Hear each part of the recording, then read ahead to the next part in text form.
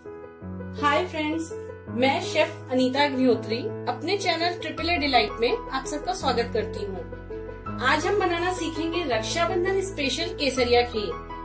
पाँच लोगों के लिए ये खीर बनाने के लिए हम सबसे पहले सामग्री नोट कर लेते हैं।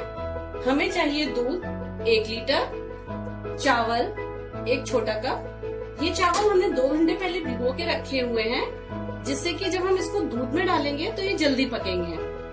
चीनी चीनी स्वाद अनुसार आप ले सकते हैं।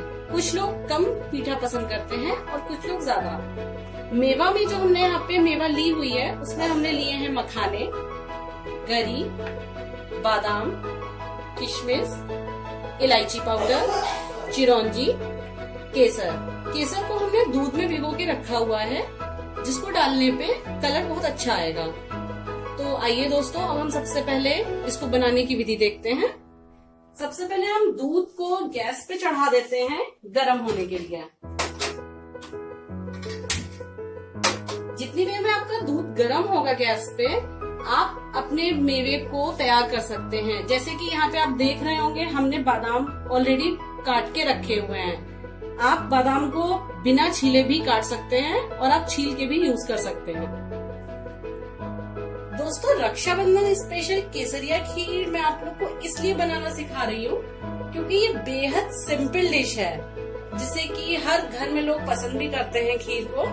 और रक्षाबंधन का त्योहार एक ऐसा त्योहार है कि हर बहनें अपने भाई को अगर ये बना के खिलाएँगी डिश तो आई थिंक सभी लोगों को ये पसंद आएगी। आइए देखिए दोस्तों, दूध भी हमारा बॉईल हो चुका है। अब हम इसमें सबसे पहले जो चावल हमने एक कप लिए थे, वो हम इसमें डाल देते हैं।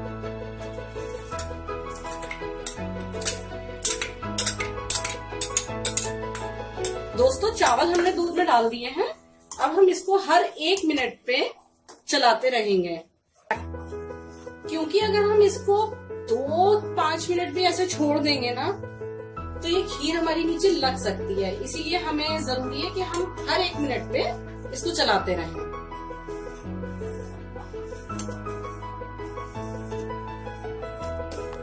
दोस्तों, जैसा कि आप देख रहे हैं, मैं हर एक मिनट पे इस खीर को चला रही हूँ ताकि ये नीचे लग ना पाए। अब इसके साथ ही हम इसमें ऐड करेंगे मेवा। सबसे पहले हम इसमें मखाने डाल देते हैं। इसके बाद गरी।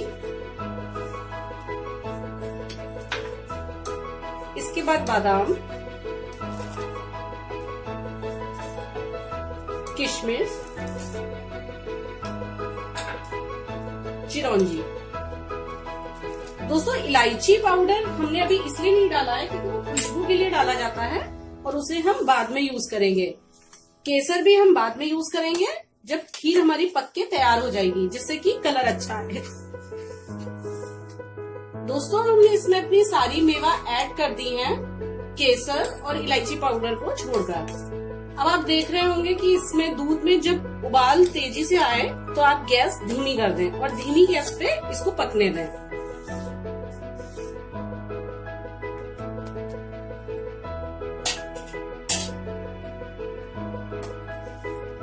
ये देखिए, अब हमारी खीर लगभग पक के तैयार हो चुकी है। अब हम इसमें चीनी ऐड करते हैं।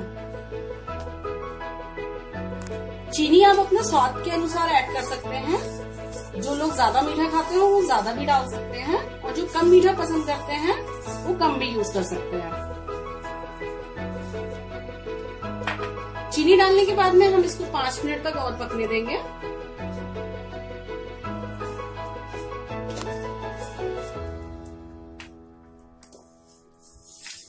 ये देखिए, चीनी डालने के बाद अब पाँच मिनट पक चुकी है ये। अब हम इसमें इलायची पाउडर ऐड करते हैं।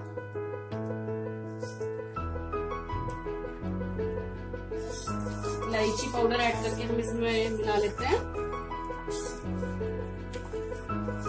अब हम इसमें केसर, जो कि हमने पहले भिगो के रखी हुई थी, वो ऐड कर देते हैं। इससे कलर अच्छा आता है।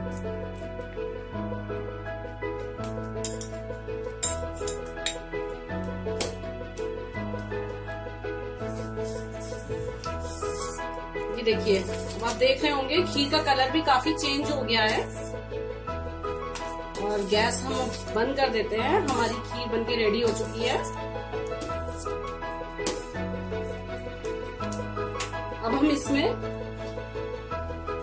बाउल में सर्व करते हैं।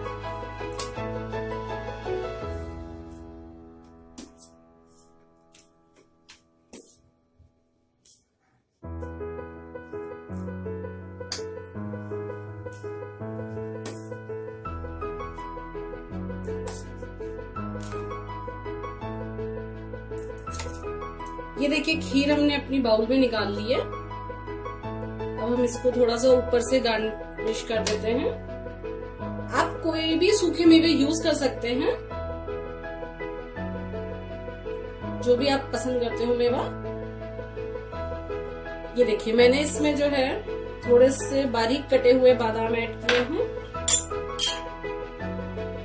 थोड़ी सी केसर हम ऊपर डाल रहे हैं इसको गार्निशिंग के लिए।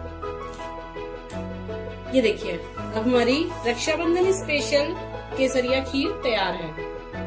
दोस्तों, अगर आपको हमारा ये वीडियो पसंद आया हो तो सब्सक्राइब बटन पे लाइक करना ना भूलें। Thank you happy Rakshabandhan to all of